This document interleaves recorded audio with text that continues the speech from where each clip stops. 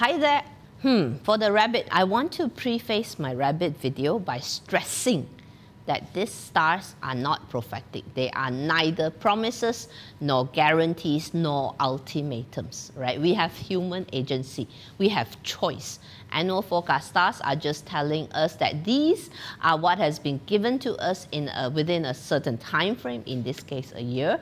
What we do with these energies is really up to us, right? The rabbit is heading towards a rather slow and steady year in 2024. So how can we get lucky?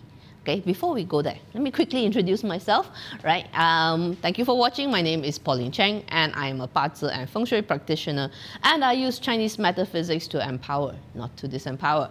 And I'd certainly appreciate if you take a second to subscribe, smash the notification bell, and don't forget to like this video too, okay? Thanks for that. Okay, so you were Grand Duke. 2023. Some rabbits I know had a fantastic year. One of my friends will not stop uh, uh, messaging me on Facebook. Oh, I want this award, I want that award, I want this, I want that. Recognition after recognition, followed by accolades and opportunities. Some rabbits reveled in the limelight.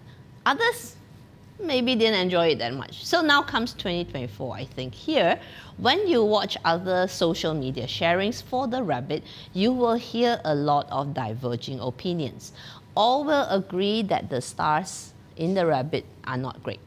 But the onward analysis and interpretation will depend on the practitioner's view of life, cup half full or half empty. So your Grand Duke is leading towards the surpassing path. This star is supposed to bring you opportunities to improve your social status. It's supposed to represent another upward trajectory. So I can hear you literally asking like, wait a minute. In the past, you've always classified surpassing path as a positive star. Why is it different now? Why is it black? The surpassing path is a neutral star. In the presence of positive stars, it turns positive. It can represent breakthrough. But when it comes together with sickness and goat blade, it carries health warnings. In this case, the most obvious reason, putting all three together, is burnout. Okay, you may have overtaxed your physical capabilities in 2023. Sickness star is a minor health uh, issues. Poor health, poor immune system, you know, you're suddenly more susceptible to the uh, running nose, all this all these small illnesses. What happens when we feel physically unwell though? Cue the goat blade, right? This, uh, this bad mood, short-tempered, short-fused, irritable, basically not pleasant to deal with, which inevitably leads to the sixth harm.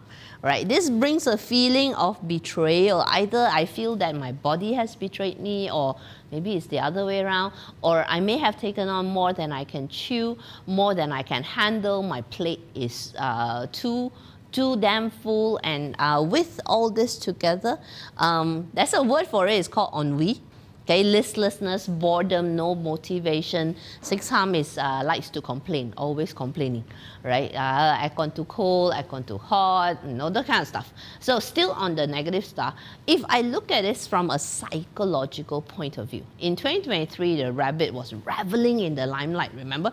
So suddenly the spotlight is switched off. No more attention, like what the hell just happened? Okay, are we experiencing a blackout? Right? Cue the goat blade and frightened goat together. Some plotters will show the presence of the frightened goat. These two together creates main character syndrome. Okay, acting out to get attention, feeling betrayed because uh, the, everybody is no longer paying attention. So where's the solution?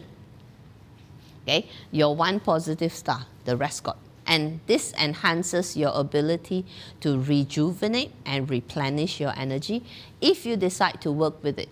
The rest God talks about being aware of how you nourish your body, mind, and spirit. This can counter the burnout, the low energy, the pure, the poor immune system. This is permission to chill and Netflix, right? Can we tell exactly what could trigger the negative stars? Yes, but for that, please check out our annual Hack My 2024. Okay, and uh, let's move on to the next slide because I don't want you to hang up on this, all right, for too long. It'll implant negative seeds in everyone's mind. Okay, let's move on. Right, so the pace is noticeably slower right? Possible, this is special for the rabbit, okay? No other guys get this. Okay, pace is slower. It's a year of rest and consolidation.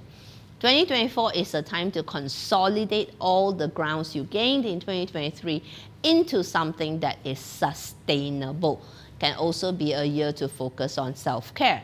So let's talk about how to get lucky. Okay, I can hear your question. Are you kidding me, Paulynne? You're talking about getting lucky in the rabbit video. This is exactly the right video to talk about getting lucky. Bazi practitioners like myself frequently face this question. When will I get lucky? When?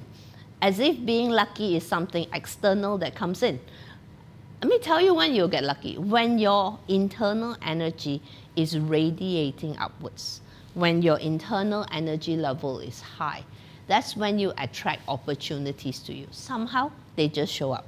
When your energy level is high, there's a strong chance you won't even feel these negative stars, right? So that's your mission. That's the rabbit's, rabbit's mission for 2024 to increase my energy level so that I don't feel this at all. Okay. Otherwise, what you could do, well, practice some Tai Chi or Qi Qigong, right? These are the two that I know of that can effectively improve your Qi level, okay? Because I'm not talking about toxic positivity here, okay? I'm talking about improving, quietly improving the internal Qi flow so that you become stronger, healthier, and all that good stuff, right? And besides, right, relax with the Rescott. Relax. When was the last time you danced like nobody is watching? That kind of energy. Okay? So, what about rabbit in the year? Okay? If it's in the year, actually, I think it's not so bad because the year pillar governs industry, social network, social media, your market, basically other people. So through the lens of social media, a lot of whining, grumbling, complaining may be a good idea, maybe to temporarily unplug from the matrix or, or uh, uh, use social media less. But before you do that, please share my video first, okay? So uh, maybe even friends falling ill that you may have to visit them. Uh, year pillar also governs our family elders, uh, like grandparents course, if you are my age, my grandparents have long since left. But if you are younger, may want to be more vigilant about their health, encourage them to be more active. For example, you be their Rescott. Uh, but if you're a doctor, physician, or healer, your market has the weak signal star. Good for business or not? If you're in the business of teaching energy healing, Qigong or Tai Chi, should you be promoting your skills? Yes. because the market is interested in what you have to offer, right? Similarly, if you're in the rest and recuperation business, right? Should you be marketing? Hell yes, right? So you see, one person's poison could be another person's medicine. Okay, rabbit in the month pillar as mentioned, this is a year to consolidate all your growth from the previous year. It's the time to take the work backstage and focus on creating systems that will help you maintain sustainable growth. Just as the year pillar can represent our grandparents, month pillar can also represent our parents. But remember, this is not an ultimatum my chart, my perspective. So what this says is that from my perspective, my parents are getting on in age and getting weaker. So now I want to be a good daughter or son and be more vigilant about their health. I will monitor their well-being and be their Rescott. Can we do that? Of course. Okay. So what about rabbit in the day? Okay, either yourself, you yourself is experiencing burnout or your significant other. In either case, permission to chill and Netflix, right? More importantly, be more mindful about how you nourish your body, mind, and soul. In uh, 2024, uh, the message would be, let me focus on getting my energy up again. I think that's a more productive way of using this stars as opposed to everyday complaint like Goldilocks. The porridge is too hot, porridge is too cold.